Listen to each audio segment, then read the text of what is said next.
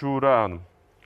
Kola, hocam CRP düşürülmesi için bitkisel tedavi olarak ne önerirsiniz? CRP değerim 33, 21 yaşındayım. Oo bak yüksek.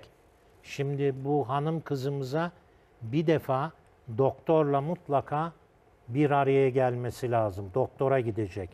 CRP ne zaman yüksektir? Bir bölgede diş iltihabı vardır. Ne bileyim ben e, rahimde bir iltihaplanma vardır.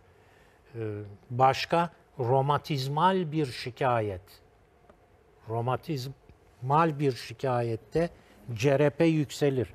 Bu 33 dedin değil mi? Evet yani hocam. bu yüksek bu CRP. CRP chemical reaktif protein, kimyasal reaktif protein bunun düşürülmesi lazım. Şimdi siz doktora gidene kadar önerdiğim şey şu. Versene Hüseyin onu. Hı. Beyaz dut kurusu. Ya ya Rabbi ya Resulallah. İşte bundan bir buçuk yemek kaşığı beyaz dut kurusunu alacaksınız. Bir bardak suda 7-8 dakika kaynatıp ılıdıktan sonra süzüp suyunu içeceksiniz.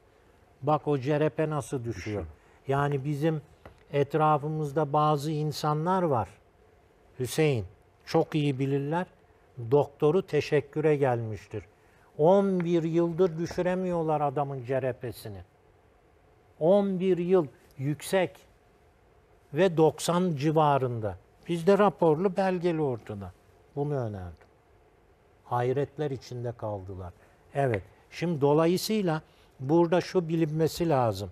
Yani CRP farklı rahatsızlıklardan dolayı yükselir. Allah korusun şeyde de bazı kanser hastalıklarında da yükselebiliyor. En başta romatizmayı akla getiriyor. Yani ankilozan spondilittir veya iltihaplı eklem romatizmasıdır